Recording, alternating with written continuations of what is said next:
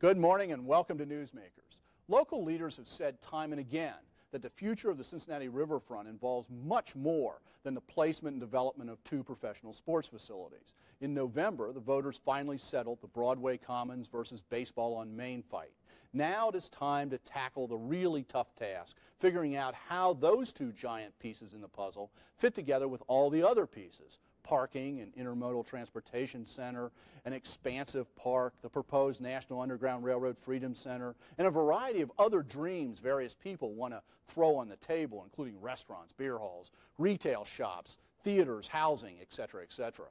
With the baseball site settled, that planning process has resumed under the direction of the City, City of Cincinnati, Hamilton County Riverfront Joint Steering Committee. In addition to working out all the particulars, the joint nature of the planning process once again offers local governments another chance to forge a constructive working relationship.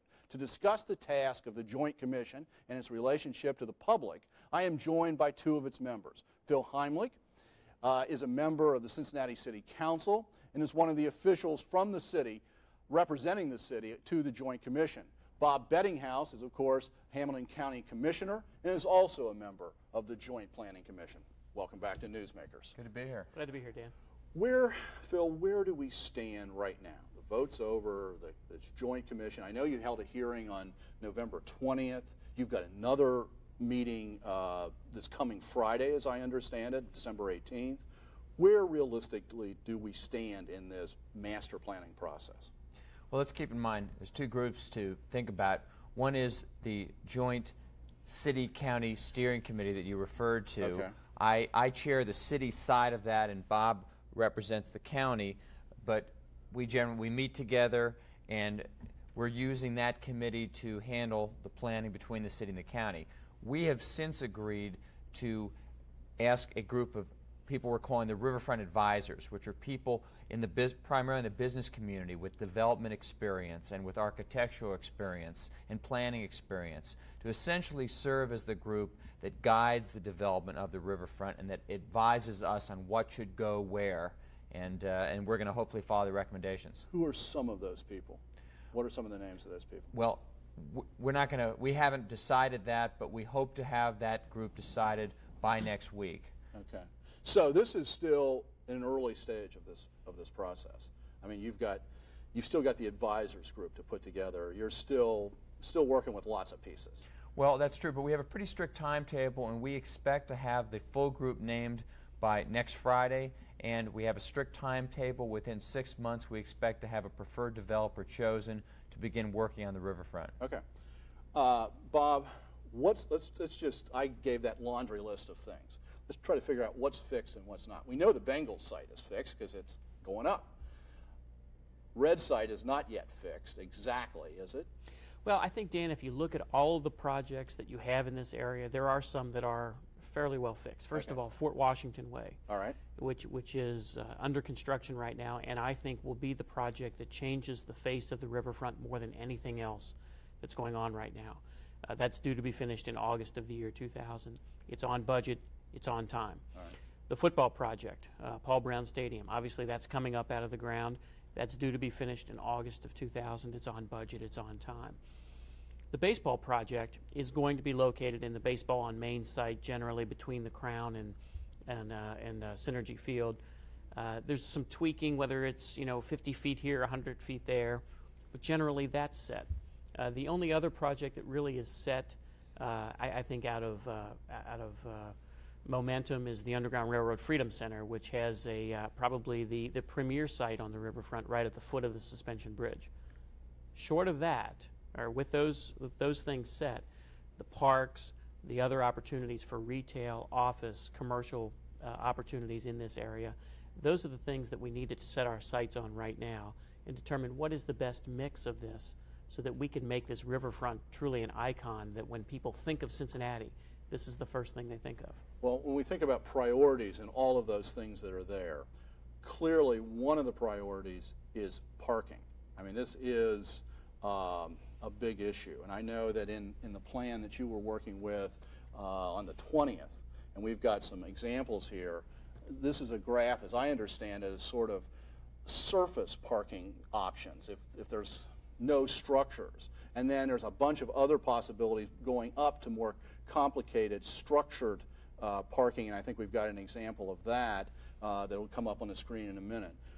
Is this, is the part, there it is, is this a, this parking question, is this one of the first things that has to be settled? There are a couple issues that need to be settled, and one has already been settled. The first one was do we build a structured second street so as to allow for the intermodal transportation center Right. To take all of the buses and, and to create that on the riverfront? The state came through with $11 million in funding. The city and county are working together on that through the Fort Washington Way project. And I, my understanding is that there's federal money, there's ISTEA money. And there's also some well. ISTEA money. Eight million in ISTEA Uh, money. Our goal, and, and from the county side of this, we look at this as three separate projects that we're involved in football, baseball, and this parking and infrastructure. And our goal is to concentrate a core of parking in that area between the two stadiums that pulls the parking as close to the city as possible, which accomplishes two things. First of all, it allows the rest of the central riverfront area to be used for parkland. And more importantly, it provides a parking reservoir, not just for Reds fans and Bengals fans, but also for downtown office workers and shoppers who want to come downtown. And Phil, is that, would the city be coming at this from about the same perspective on, on that issue, on the parking issue? Yeah, exactly. In fact, our biggest concern since the stadiums were decided is that we have structured parking and not a so-called sea of surface parking, Which was that just first thing we saw. yeah, which looks pretty ugly to be quite honest. And but now we get to the question, and I think this is what you brought up here, Dan, is what goes on top of that structured parking, and that's really what this Riverfront Advisors Group is about. We know we want parking. We know Fort Washington Way is going forward. We know the stadiums are going forward. But what are the developments that we're going to have? And the only thing on top, as Bob was saying before, that is more or less certain is the Freedom Center. yes. Okay. Yes. And, but even the legislation, let's point out, even the legislation, that hasn't been locked in stone yet, right? I mean, everybody sort of agrees on a site, but not everybody, the, the legislation hasn't been passed to make that happen. I think it? the Freedom Center has a long way to go before it, uh, they start putting the first brick in place. Okay. Uh, but I, I, I, when I was talking uh, at the earlier part of this, it was with the understanding that that is the one project that seems to have enough momentum that it's going to be a reality. Okay, then all these other things that could go on top, that I did the I did the laundry list: uh, restaurants, uh, beer halls, uh, r- housing, et cetera, et cetera. From your perspective, from the city perspective, um, is there a priority list? Is there? Have you worked out among yourselves what what you would like to see there? Well, the whole reason for getting some outside help from people with business experience, architecture experience, development experience is that it isn't decided by politicians and city administrators. We want people in the private sector that really have the know how, really have done things in other cities, that have, have seen what other cities have done. We want their expertise and their recommendations. I, I want them to tell us. I don't want Phil Heimlich or our city manager John Shirey or even my good friend Bob Bedinghaus. I think we need to take this out of the government people. Let me ask a question now. Um, are we recreating the wheel here? I mean, is there any community voice? Is there any uh, opportunity for the average person to have a voice in this so we don't have one more initiative that has to go back to the ballot and people are mad because of what the decision is? What about integrating into this some sort of public voice? First of all, Dan, I want to put something straight. There's not really a city uh, preference or a county preference, and and, and I. I'm doing my best to, to kind of stamp out this whole idea that the I- I city sort and of county can't can't get along any and, longer. and that's the way I set it up Right. because I said this is another joint. But then you Right. said well, there's really two groups that are trying to work together. I'm just trying to see how much real cooperation and how much feed in from the community there really is. Well, I, first of all, I, I think you are going to see real cooperation between the city and the county, both at the political level and at the staff level. The idea of having community input is, is an important and valuable aspect of what we're about trying to com- accomplish. Uh, the Riverfront Advisors, I'm sure, will take input from community groups. And let's not forget that we still have Urban Design Associates, who is in the process of putting together a master plan for the entire riverfront area, and they will accept community input. Uh, along the way, a lot of people But have is been that critical. is in your expectation in your plans? Is that structured in? Are the community advisors told to get out in the community someplace systematically? Is UDA told to get, not just to report to the community at convention center when they've finished, but, you know, to really get input? Is there, is that happening? And I, I ask that just honestly. I don't, I'm not, I don't know. Well, the, the answer from UDA is absolutely. They will have community input in, in their process. The Riverfront Advisors Group, I think, is a little different. Uh, I, I think there will be an aspect of community input there, but we're asking uh, some professionals to help us make some of these value judgments between hotels, residential, uh, uh, entertainment, beer halls, you know, whatever Right. it might be. And I think we're looking for a, a different level of, of input from that group. One of the things we haven't talked about specifically, which is sort of each of us has mentioned it quickly, is the whole park thing that the park board, Jack Wilson and um, Steve Schuckman and his crew are working on. Uh, is that sort of like the Freedom Center? We don't know what it's going to look like. We don't know how big it is, but everybody agrees that there should be a substantial green space down there. I actually think the Freedom Center is a little more along than the park concept because the Freedom Center at least has a pretty set plan about how they're going to raise their money. The park plan looks nice, but there's no money at this point. So I certainly would like this Riverfront Advisors Group to take a long look at that and make sure that that's the right thing to do. If it is, and if we can get the money, then that's fine. Phil raises the always touchy point of money. What is the responsibility of the county coming out of the sales tax? I know it's uh, Paul Brown Stadium and the new Red Stadium. Is the structured parking going to come out of that sales tax? Absolutely, we've said that from the beginning. Okay. Uh, we, we have uh, Paul Brown Stadium, uh, the Red Stadium, and then the infrastructure and parking that will allow for the rest of the riverfront to be uh, to be left for other uses. Uh, we have in our financing plan uh, set aside about 110 million dollars or 115 million dollars for this parking project. Okay. Uh, so we have included that from our from the very beginning. So of our what's budget. the total right now that you're projecting has to come from the sales tax? about 825 million dollars. So that's 825 million. Now there's these other things. Now, you know, the intermodal thing comes from state and federal money and maybe some local money too. county and city money, County right. and city money. The National Underground Railroad Freedom Center and some private money and some various levels of, of government money. Um, what about something like the park? Could that come from the sales tax? Just keep collecting the sales tax longer. Uh, we've been very, very clear about this from the very beginning that the sales tax that the voters approved back in March of 1996 was only for stadiums and related facilities. It is not available for the convention center. It's not available to uh, create the park. It's not available for Isn't any that, of these other isn't that projects. related? Uh, abs- I, I don't think so. No? Uh, Okay. You know, we, we were very clear, and I thought very straightforward with voters when we went to them in March of '96, that we were going to jumpstart this whole riverfront project, and that it was going to be the responsibility of some others to, to come in and. Well, you know, on finish the job. Thursday of this week, it became clear that the county's sales tax, not just the, the sales tax you're collecting for the um, uh, for the stadiums, but the other sales tax and the other taxes that you raise, is generating more funds. Might some of those funds be channeled into this uh, this opportunity on the riverfront? Uh, we have an opportunity right now with a very good economy uh, to be in a, a pretty comfortable situation in Hamilton County. We're going to spend the next year trying to figure out what it is that we do uh, into the future. Do we roll back taxes, which I think is a very real opportunity for us? Uh, do we look at, at what other opportunities we have to perhaps pay off debt? Certainly, we would consider other opportunities for development throughout Hamilton County. Remember, Yeah. Cincinnati's riverfront is important, but we do represent 860,000 people, not just uh, the city of Cincinnati. Phil, uh, what about the city? Are you experiencing the same sort of uh, influx of unexpected tax revenues and therefore might have some funds to put into these sorts of projects? I'd say yes to the first question, probably Okay. no to the second, and here's why. If you look at our budget, we do have a surplus this year, we have a surplus next year, which is why I've kind of pushed to cut our earnings taxes for next year, and I haven't gotten the support from a majority of council. However, if you look down the road, we're showing a deficit six years from now of about seven million, and if the proposal that's in front of council by some members to double the social service funding goes through, we're going to have a $35 million deficit in six years. I hope that proposal doesn't go through, but the bottom line is down the road, things don't look quite as good as they do now. Okay.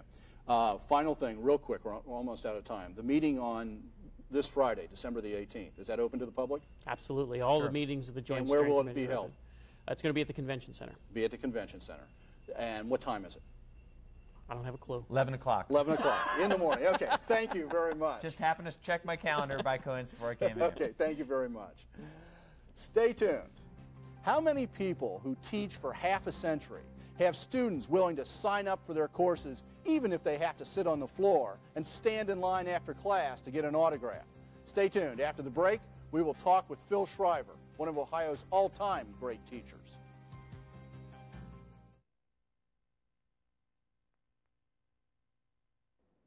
Welcome back.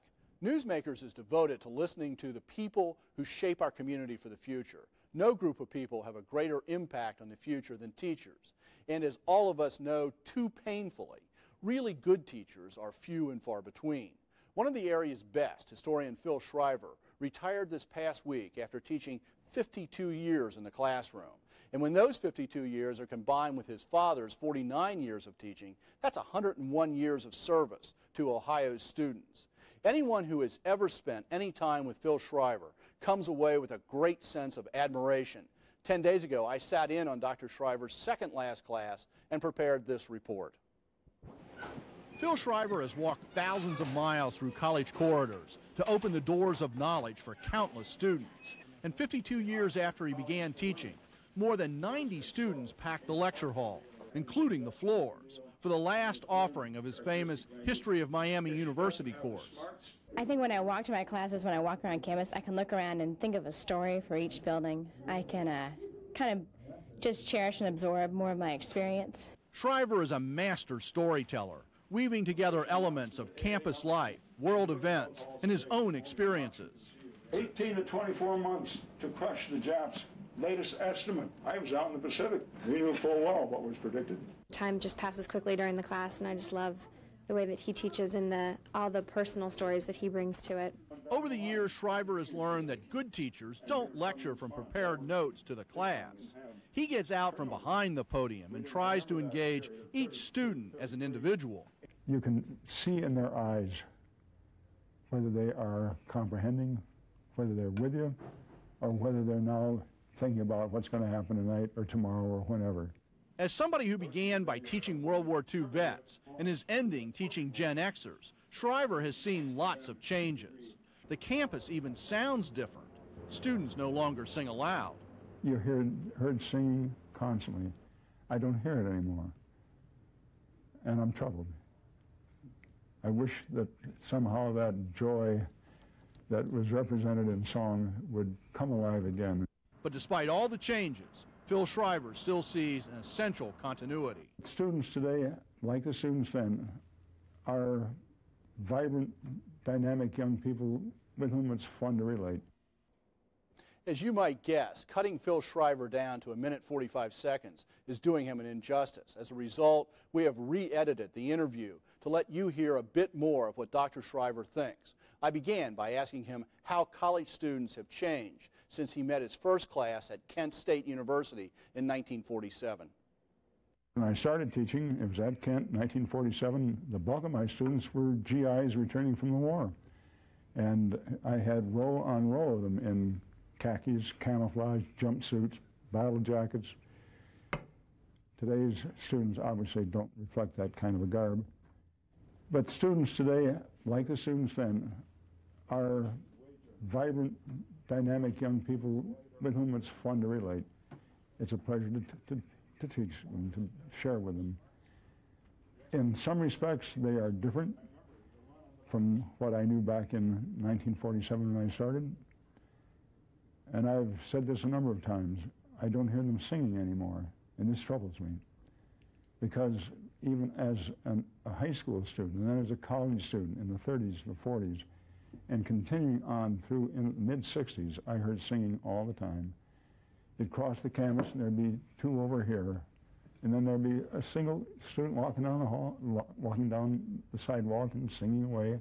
And at night, groups, often fraternities, sororities, heading uptown, singing as they would go. You'd have singing at Mother's Day Songfest competition. You'd have singing when someone was getting pinned or lavaliered. You heard, heard singing constantly. I don't hear it anymore. And I'm troubled. I wish that somehow that joy that was represented in song would come alive again in, in these young people. And perhaps someday it will. And how have you changed as a teacher? When I began, I was loath to depart from notes. I felt I should always have before me a complete outline of everything I was going to cover. And then I found with the passage of the years that I had a far better response from students when I was simply in front of them talking as though it was one to one and not lecturing to a large group. You can see in their eyes whether they are comprehending, whether they're with you, or whether they're now thinking about what's going to happen tonight or tomorrow or whenever.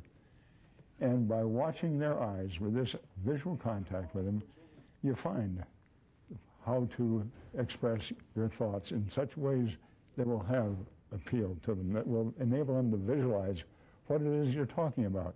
Because if they can visualize it, they're going to remember it. If they can't visualize it, it's simply a fact that somehow they're going to have to ma master through memorization or whatever. What quality of Miami University do you want to be sure is never lost? I think the essential quality is what I'll call human scale.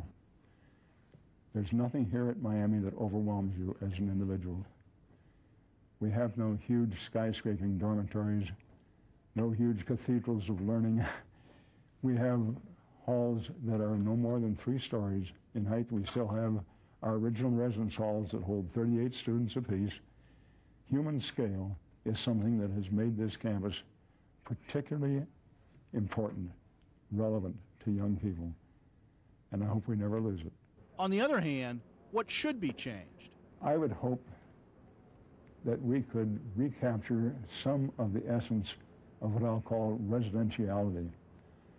I am concerned that today many students opt not to live in the residence halls in their last several years on campus, to live out in town.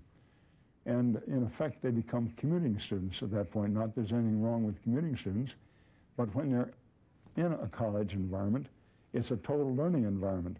And they learn from each other. They learn in contact with one another in the dining halls, in the recreation halls, in the lobbies of their residence halls where they have people come in and speak to them in the evening, or when they're simply discussing a question, an issue of the day. Students will learn as much from each other as they will in the classroom from their professors. And I think it's important to us to try to recapture the residentiality that we once had.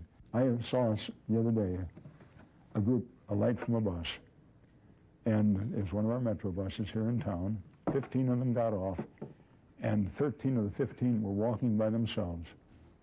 Only two were walking together towards their condominium. And I thought, there's something missing here. They're not interacting. They're heading back to their individual rooms. And I would like to see restored, recaptured, the essence of residential life, which is interaction. And how about your future plans? Dan, I have two books on the griddle right now, one of which has a publishing deadline of February 15th, so there's no question about my hours between now and then. The second one will come out in the year 2000. And I hope after that, frankly, to take some time to write on some articles that I've had in the back burner for quite a period of time. And uh, this is what I hope to keep doing. Beyond that, I intend to enjoy life to the fullest here in Oxford, Ohio, which is a community I love. I have children living here, grandchildren living here. It's an anchor point for the whole family, and I intend to make the most of the time I have left with my wife in this beautiful community, enjoying family and friends. Dr. Shriver's new book on the history of Miami is now out in print, so you might want to get that if you're interested. Thank you for making Newsmakers a part of your Sunday morning. Join us again next Sunday. Depending on when the impeachment votes are taken on the floor of the House of Representatives, I hope to have our local representatives from Congress with us here if it's possible. Have a good week.